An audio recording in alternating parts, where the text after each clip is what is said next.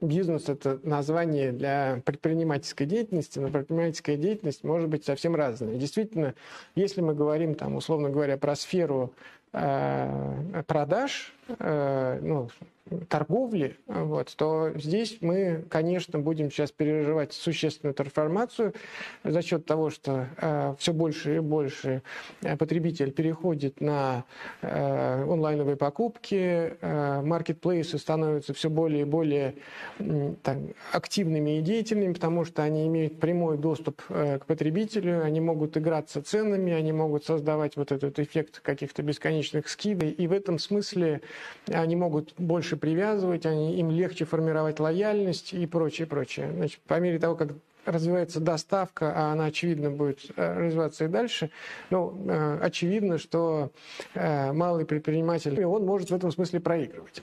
Но здесь вот какие есть стратегии. С одной стороны, это э, использование платформ. Вообще в чем состоит идея вот этого нового времени? Да?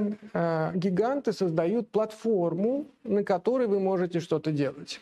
То есть вы не создаете бизнес полного цикла. Вы подключаетесь на платформу. Если у вас есть какое-то интересное конкурентное предложение с точки зрения продукта, да, вы находите платформу, на которой вы будете платить в этой платформе за инфраструктурную ее долю прибыли, вот, но при этом вы сможете больше внимания уделить, э, соответственно, ну, там, разнообразию продукта, увеличению его качества, правильной подачи, э, системе вот, э, маркетинговых предложений, приложений там, и так далее, и так, и так далее. Одно направление, оно связано с тем, чтобы использовать платформенные решения, которые создает большой бизнес, того, чтобы сесть и на нем э, реализовываться. Э, второе направление – это э, эксклюзивность э, ваших э, действий. То есть, если вы находите эксклюзивную аудиторию и эксклюзивный канал дистрибуции, да, ну, эксклюзивным каналом дистрибуции может быть конкретный персонаж, как это сейчас часто происходит. Да? Ну, вот у меня есть товарищ, э, он занимается бодибилдингом и очень известен. И у него покупают, он занимается, соответственно, созданием э, еды, вот, и сам является каналом дистрибуции. Да? Значит, он собирает таким образом свою аудиторию, и этой аудитории системно предлагает те решения, которые этой аудитории нужны. Да?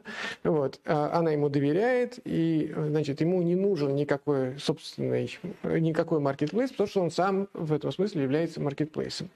Вот, поэтому это две конфигурации. То есть вы или превращаетесь вот в какую-то узкую историю, при которой э, вы знаете, как вы вашу аудиторию выделите, как вы ей предложите этот продукт, вот, или вы работаете уже с большими платформами и на них находитесь. Если мы говорим про продукты, то продукты, они в любом случае будут требованы. Проблема состоит в том, что мы э, мало, к сожалению, в нашей, в принципе, экономике создаем э, вот, какого-то реального продукта или реальные услуги. Да? У нас очень много усилий уходит на борьбу с энтропией, общей экономической, человеческой, организационной. А в результате как бы, продукт недополучает вот, нужного, нужных вложений, нужной апробации, понимания аудитории, для которой он предлагается.